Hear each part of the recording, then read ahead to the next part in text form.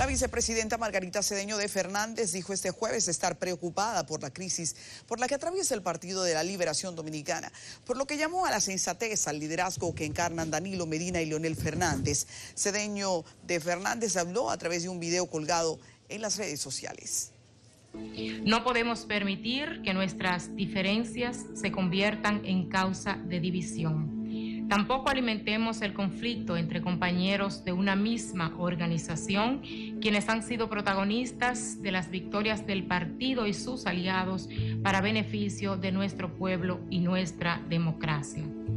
Hoy más que nunca, nuestro deber es unirnos para consolidar el desarrollo del pueblo dominicano y continuar nuestra obra de gobierno. Danilo Medina y Leonel Fernández, líderes del PLD, cuentan con el apoyo de todos los PLDistas para que juntos encuentren la solución correcta al gran reto que enfrentamos instó a los líderes del PLD a dejarse guiar por lo que los une, que es el amor a la patria. También hizo un llamado a toda la familia PLDista para que asuman el reto de la unidad.